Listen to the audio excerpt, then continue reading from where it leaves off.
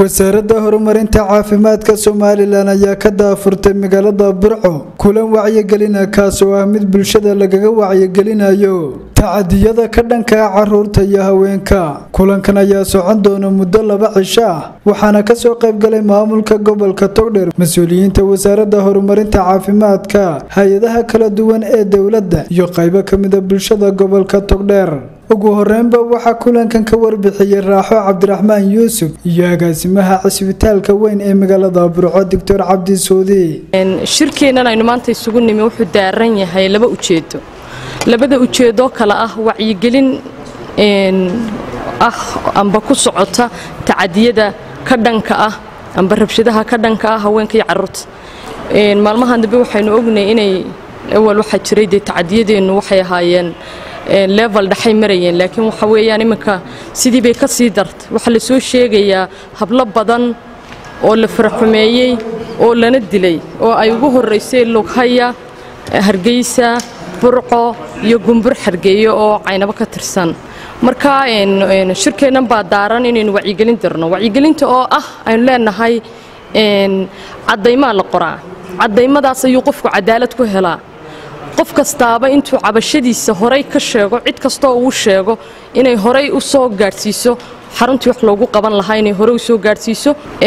Ujeeddada labaad ee uu daaran yahay waxa weeyaan qaran dhan baynu nahay laamo fara badan baynu ka koobannahay si baynu ugu adeegnaa qof walbaaba dhinac buu uga adeegaa qofka dhibanaha ah inaynu hagaajinno oo mar walbaaba sii abdhayt garayno wax ku sii darno sii casriyeyno. Sidii laysugu gudbinayo qofka tacadiyadu gaadheen. Runtii kulankan aynu maanta halkan iskugu nimi waxa weeye tababar soconaya muddo laba cisho kaasoo kor lagu qaadayo aqoonta bulshada maadaama oo intan badan ay soo korodhay tacadiyada ka dhanka ah haweenka iyo carruurta sidii bulshada looga wacyigeliyo dhibaatadaa inta badan iminka bulshadeenna la soo daristay ee inta badan inagu soo noqnoqonaysay runtii dadka halkan fadhiya waxay ka kooban yihiin qaybaha kala duwan ee bulshada. Hadday noqoto madaxdii gobolka kuwii caafimaadka iyo kuwii magaalada ee kombyunitiga iyaguna hogaaminayay. Waxaannu rajaynaynaa labada cisho ee halkan tababarku inooga socdo. Qolihiina tababarayana way joogaan haddii aan la idhaahdo qolada iminkale wax badan kama fahansanina insha allah waa fahmi doontaan haddii aan la idhaahdo markaynu labadaa cisho u samirro haddii aan la idhaahdo runtii kulankanna wuxuu noqonayaa mid wax badan insha allah ay ka soo baxaan oo bulshada kor loogu qaado aqoontooda iyo sidii loogu wacyigelin lahaa dhallinyaradeenna faylanska nagu soo noqonaya haddii aan la idhaahdo iyaguna dhankooda halkaasi waxaa ka hadlay waxgaradkii lagu soo marti qaaday kulankan waxaana sheegeen sida loogu baahan yahay in wax looga qabto arrimaha la xidhiidha tacadiyada loo geysto carruurta iyo haweenka. Marka ugu horraysa baadinimada waxaa keenay diinla'aanta haddii dadku diin leeyahay oo diintiisa ku adkaada ma yimaadeen cawaaqibkan. Anigu marka hore waxaan idinku hanuuninayaa idinna leeyahay. Rag iyo dumarba diintiinna u noqda. Waxaan aad u soo dhowaynayaa in cid kasta oo maxay tacaddiga ku kacda in waajibkeeda la mariyo.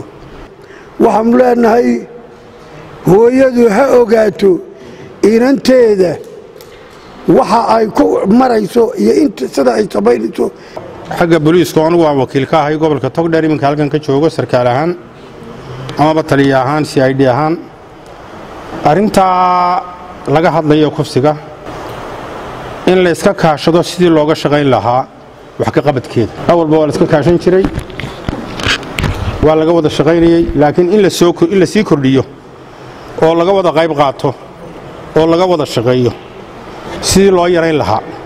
Gudoomiye ku-xigeenka gobolka togdheer maxamed cabdulaahi ibraahim nafaqo ayaa dhankiisa ka hadlay kulankan waxaanuu tilmaamay sida loogu baahan yahay in la joojiyo wax kasta oo keeni kara tacadi ka dhan ah carruurta iyo haweenka. Waxaanuu tilmaamay in si wada jira looga qayb qaato joojinta tacadiga siaa ogtihiin walaalayaal beryahan dambe tacadiyadu aad iyo aad bay u fara badan yihiin weliba waxyaalo aynaan aqoon jirin ayaana ku soo biiray oo berigi hore waxaynu arki jirnay kufsi keliyaynu arki jirnay. Laakiin iminka dil baa weheliya. Sidaa darteed waxaan u baahan nahay inaan ka wacyigelinno inta maanta halka fadhida waa intii acyaantii bulshada ugu labeensanayd wey iyadaana waajib ay ku tahay inay bulshada kala gaarsiiyaan oo ka wacyigeliyaan siiba odayaasha dhaliil badan baa runtii dul hoganaysa waxaa la leeyahay way fududeeyaan. Arrimahaas oo dhanoo waxaan rajaynayaa hadday odayaasha dhaqanku ay iska taagi lahaayeen meel adag waxaan filayaa inay wax badan ina ka yaraan lahaayeen. Cabdiqani baafo star t v magaalada burco